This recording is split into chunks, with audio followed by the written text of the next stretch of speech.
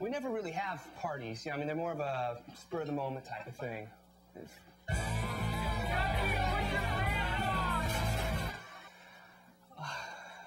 I don't have a clue how they start. Hey, you! With the beer! Yo! Party at Bean